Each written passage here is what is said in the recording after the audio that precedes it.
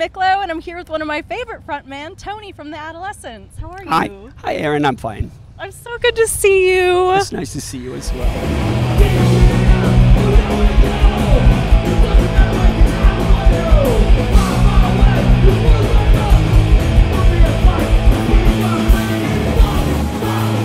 How's the house? Coming along, we're paused on renovations, but What's for dinner? um, salad. Beautiful. so let's get down to the meat. Oh, you're vegan, aren't you? Are you on the gram all the time? Are you just constantly on the gram and the Facebook? Yeah, yep, Yeah. all the time. You're doing a tour with the Neighborhood Brats coming Yes. in Texas and Florida. Right. How did that happen for you to set up this tour with them? Well, actually, they um the the we were they were already out. I think they're already on tour, but we um, um had booked a tour to go uh, east, and uh, they asked if we would want to do a package. We said sure, and um, they gave us a list of bands. And to be fair to the, they gave me like seven bands to choose from. And to be fair.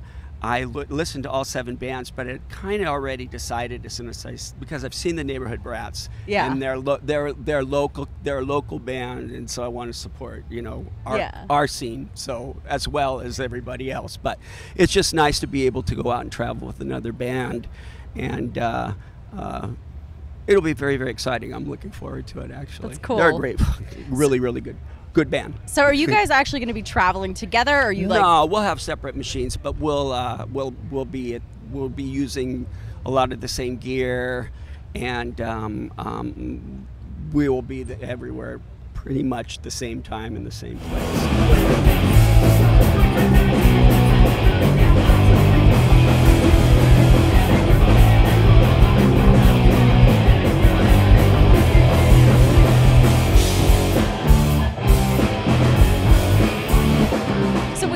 Ready for a tour, do you have anything that you do to prep for it or is it you just kind of go? I take I walk every day, and I do walk a li- and then I uh, um, I start uh, eating better. Yeah, to have You your know, energy and your right, stamina for the shows.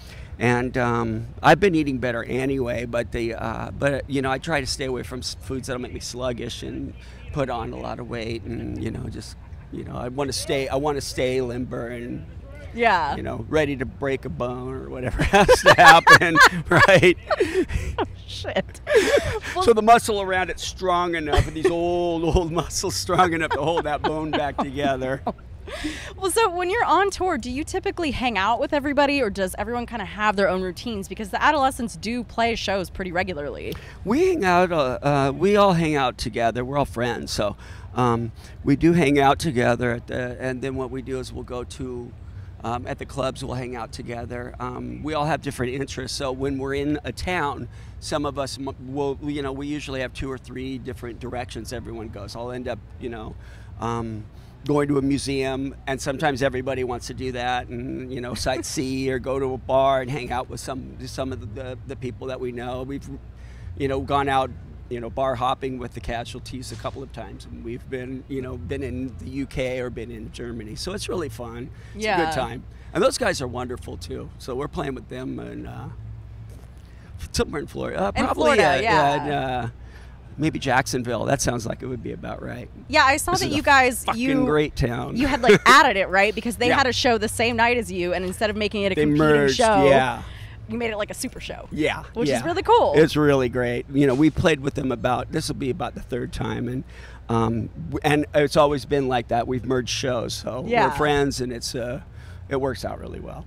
Yeah, especially because I mean I grew up in Florida, and the show venues out there is like you know there's not that many punks. Like the shows will be packed, but it's like just the volume of people. There's just not as many. right? right You right. know, and, and there, and there's really not any point. It's all the same. We're all we're all from the cut from the same stone. Where you know the you know we if we want to if we're going into a town and that's the thing to do, let's not make it hard for the people that want you know that that feel torn. It's just easier Yeah. that way. I was really really glad that that happened. So Yeah, really because happy. it's like normally bands don't come through, and if they do, it's like that would be the worst thing. If it's the two bands on one night, it's like come Oh on. yeah, right. That would kill me too. So And you you're know, like a kid, and it's hard to get from place to place already. Right. Like I remember my parents dropping me off at shows and waiting at a bar down the street in Florida. oh, you're from Florida. Yeah. What city? Uh, Tampa. Oh, well, we'll be there too. But, Yeah, you guys are playing. But. I love Jacksonville. Jacksonville's a good time. I really do have a nice time at the in Jacksonville. I like Corpus one. Christi too. I don't know if you've ever been down there, but that's a fun place. Too. I have friends in Corpus, and That's they said a they get they fucking get fun town. Yeah, that's a great town. If anybody anywhere else in the world, you want to have the the best time in your life, you go you go to these places we're talking about.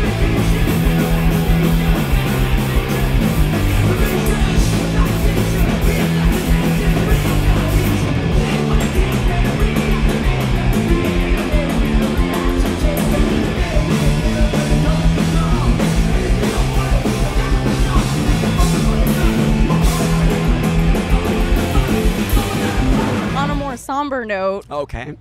I have to ask. Brad is now filling in Mm-hmm. on bass for Steve after Steve's passing. Can you talk about how it's been with Brad on the road with you guys? Um, keeping the legacy alive with Steve and Yeah. I mean it breaks my heart to even mention this. Like it just Well, it feels so Well, unreal people, still. Yeah, people are curious too, and they want to know what's happening and what's going on. So, um, and I don't talk a lot about it. I keep it a lot inside. I'll talk about stuff, but not usually personal stuff. Um, but um, when we went on, we went on tour. The tour uh, right before Steve died, we had gone. We were out for about eight days on the East Coast, and we came. They came back. They went back home, and my son and I went to Rome and we were gonna we were gonna vacation in Rome for about you know about a week until the tour started, and then we were gonna start our tour in like Berlin, I think. Yeah. And so, um, um, they got back home and they were there a couple of days, and Steve died, and um, and it was a big it was it was a, of course a horrible horrible shock for us. Yeah. When we were on tour, Brad was the um, was our was actually driving and tour managing for us. He plays in a lot of bands, but he, that's what his role was, and um, um, so he was his family. I mean, this is somebody that's already with us and has been. But we, prior to Dan joining the band, Brad was actually asked to play guitar Yeah. and Brad couldn't play. He was he was doing a couple of other bands. He just couldn't do it. He recom- he suggested his friend Dan, and we we're like I said, we're all friends. We all we've all been together for 40 years. yeah, the Orange know. County punk rock Right. scene is like it's tight. Right, right. And those guys were, were friends of Rick Elric, and Elric and I were really good friends. I mean, I lived in Glendora forever. He lived in Covina, and we, the, the, those guys, we all hung out all the time. Yeah. So Brad, Brad couldn't do it. Dan played. When we were out um, on the road, and Brad was in the car with us, it was like, okay, the, you know, it was this is it. You know, like there's not really any question to me. Yeah. It was like Steve had already asked this guy, this this guy to play in the band. It was the most clear cut thing to me. Yeah. And and very hard for Brad. You know, I mean. I can't imagine the kind of strain that, that he's under because Steve was such a loved person Yeah. and um, and I know that it's I know it's hard for some. I know, I know some of our fans will never be able to come see us again. I understand that. I You think so? I I think don't so. think so. I think so. I think some of them it, it may just be too hard. You know, it just may be too hard to see this with uh, without Steve. I know it. It had to be hard for his family. Yeah. And um, I tell you, every night I don't, I don't, I don't notice um, how blessed I, how blessed I am. Um, I don't usually notice it right away until those moments when I look over, and I see that these kids really, really excited and still really, really excited about them to, to hear these songs, to hear them played live. Um, they're, I get it, you know, I get, and I get that too, but I also get the part, you know, where we got people that are going to be like me, and you know, some days I look over and it's fucking really, really hard. Yeah. You know, I mean, I keep a picture, pictures of Steve next to my bed. I always have. You know, they've been next. You know, these different pictures have been next to my bed since I was 16, 17 years old. That's how long we've been friends. And even when we had periods where we didn't we didn't work together, um, um, we were always still connected. Yeah. The band, I mean, he was in my wedding. I mean, we were, you know, I was at, at his. It was at his wedding. He had he had a, a, a different a different group because I was always in and out and gone. But um, um, but it was, you know, we were we were family. So Yeah. it's nice to have Brad because he's also he's also family. He's not my partner Yeah. but he's He's family. and he's he's he's family, and he's fucking great too. On top of it, he's really good. Yeah. He's really good. Yeah, when you guys played Rebellion um, over the summer, that tour that you didn't want to cancel, that Steve Right. and you had worked so hard to set up. That was a that was I mean- really rough, but we got it. We got it. I know Steve was was happy that we beat the shit out of it. You, You know? could feel the emotions that you were Yeah. going through, and it was a great performance because you could feel that you were really doing it for Steve. Yeah, You know, yeah. and I'll never forget the first time I interviewed you guys in 2017, and I asked, I was like, "What is it about playing with the adolescents that you love so much?" And Steve just said, "This is this is the band." Well, we've been friends since we were teenagers, and we still like each other. We haven't got sick of each other. I love playing with the Adolescents more than any other band that I play in. So this is the band that I love. We always had so much fun, the two of us. I mean, we knew each other's jokes, we knew each other's look, uh, just a look, a glance, uh, uh, a bad joke, uh, something that that um, was so inside that I was not supposed to say it to anybody else, and nobody knew what it was about. So I would just kind of blurt it at him, and he just start to laugh. And that's how we played together. I mean, on stage and off stage, we're you know that was that was how we were. So. Well, so your latest album, Cropduster, came out shortly after Steve's passing. Can you share some stories from making that album together? Oh yeah, that was a good one. That was a lot of fun.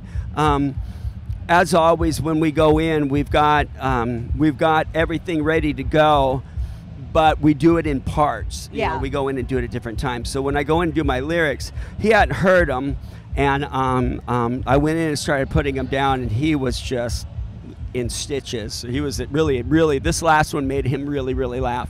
And I'll just, you know, I just have to say it was a really happy, happy recording session. yeah, it's a Like, great album. yeah, I was listening to it you. today. It's great. I like it a lot. I think it's good. So thank you. Yeah. Yeah. I, I think Steve should be proud. If That was a it was a really really excellent batch of songs and song eh, amazing songwriting. He did just incredible. It's really good. Well, thank you so much for Thank taking you, the time today. I love you. This is Tony of the Adolescents, and you're watching Last Rockers TV.